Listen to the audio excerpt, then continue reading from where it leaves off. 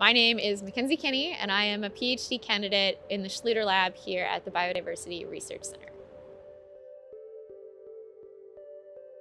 My research is looking at hybridization of species as a means to adapt to rapidly changing environments. Essentially, hybrids are often regarded as being less fit than their parent species, and so they have lower survival. And this is because these new trait combinations that come from the hybridization event um, are likely to be ill-suited for either of the environments that the parents are in, and so they can't actually compete against the parents. But whenever we have these changing environments, um, it's now a new environment that the parents aren't necessarily adapted to either. And so I'm trying to see if these new combinations are actually better at allowing them to adapt to these new environments. The way that I do this is with a fish called the three-spined stickleback.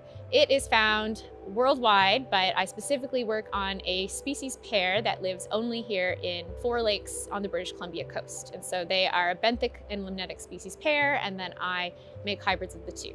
And I run experiments looking at whether or not the hybrids are better fit than the parents in both a control environment and a new environment for all three of these types of fish. So I got into biology very serendipitously.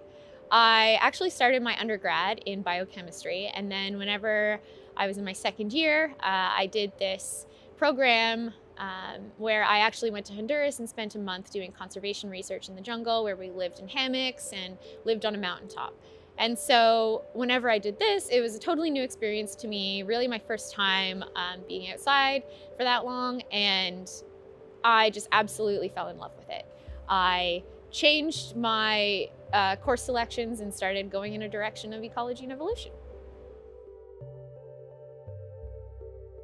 So my favorite research memory is also from this trip to Honduras. I remember one of the first nights being there, it was just myself and the head herpetologist, and we were walking through the riverbeds and the trails in the dark of night, using our headlamps to look for frogs. And it was just so serene and everything around was just quiet. And I really felt embraced by the ecosystem and, and a part of it.